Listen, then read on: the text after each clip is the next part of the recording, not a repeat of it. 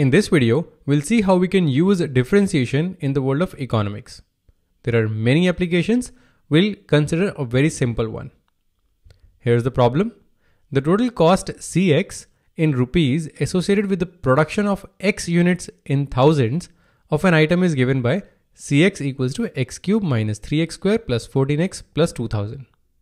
So this means if you put in x here, x is units in thousands, you'll get the total cost. And the total revenue Rx in rupees associated with the sale of x units in thousands is given by Rx equals to 15 plus 26x minus x square. This means we'll use this function to get the total revenue. Now the question is not about the total cost or total revenue. The question is about the marginal cost and marginal revenue. Is the incremental cost and the incremental revenue.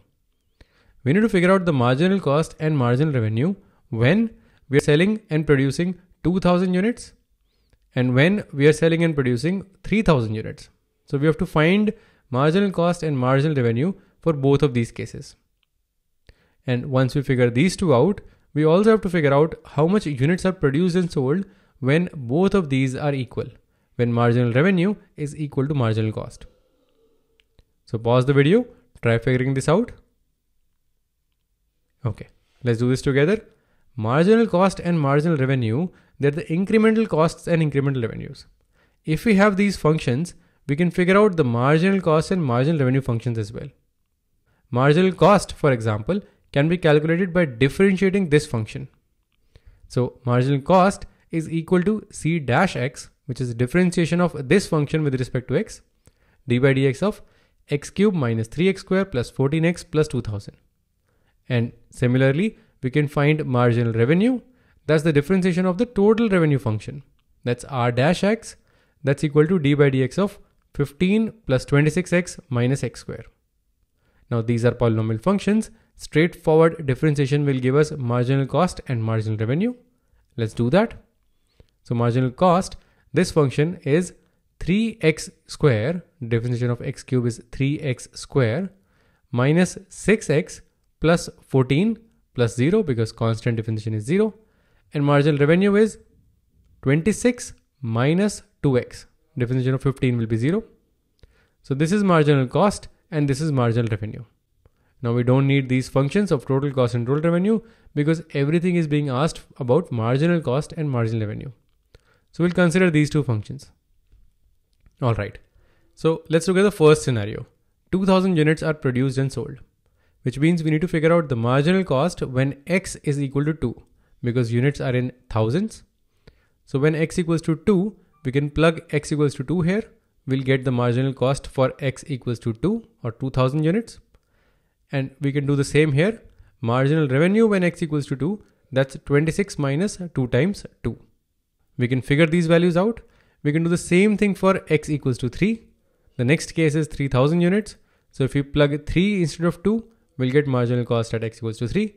And we'll get the same thing here as well, marginal revenue for x equals to 3. All right, let's compute these four values. For this one, we have 3 times 2 square, that's 4. So this is 12 minus 6 times 2 is 12 plus 14. So 12 minus 12 is 0. This is 14. So marginal cost is 14. What's marginal revenue? That's 26 minus 4. That's 22. So for this scenario, marginal cost is 14 and marginal revenue is 22. Let's do the same thing for 3000. This is 9 times 327 minus 18 plus 14. So this is 9 plus 14, which is 23. Cost is higher. What's marginal revenue? That's 26 minus 6, that's 20. Marginal revenue actually goes down. So here we can observe that when we are producing and selling 2000 units, our marginal cost is less and marginal revenue is higher, which means it's a good thing. Marginal revenue is higher than the cost. And in the next scenario, when we've scaled to 3000, our marginal cost is actually higher, but marginal revenue has gone down. So this is not a good scenario.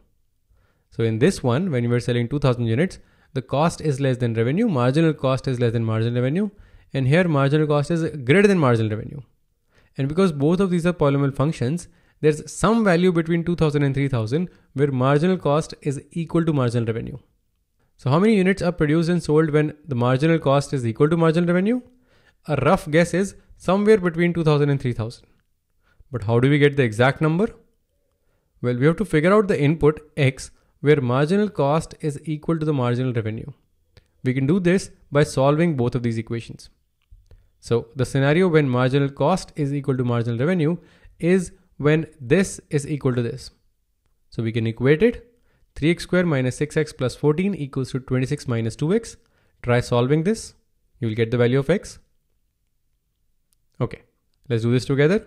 We have 3x square minus 6 plus 2 is minus 4x. 14 minus 26 is minus 12. So we have to solve this quadratic. 3x square minus 4x minus 12 equal to 0. We can use the discriminant formula. d is b square minus 4ac. That's minus 4 square minus 4 times 3 times minus 12. This is 16. This is 12 times 12, 144 plus 144. So this is 160. Root of 160 will be 4 root 10. This is 16 times 10. So root of 16 is 4. Root of 10 is root 10. So we have root d. Now we can find the value of x. x is minus b, which is minus of minus 4. So that's just 4. Plus minus root d, that's 4 root 10. Divided by 2a, that's 3. So divided by 2 into 3. Now here we have two values. Does this mean that marginal cost is equal to marginal revenue for two different values here? Not really. Look at these values. One of them is actually negative. 4 minus 4 root 10 will give us a negative x, which means we are producing and selling negative amounts of this item. And that's not realistic. So we'll not consider that scenario. We'll say that x is equal to 4 plus 4 root 10 divided by 2 into 3. Let's see if this value is between 2 and 3. Let's simplify. This is 2 plus 2 root 10 by 3. That's 2 by 3 times 1 plus root 10. Now approximation of root 10 is 3.16 and 2 by 3 is 0.66.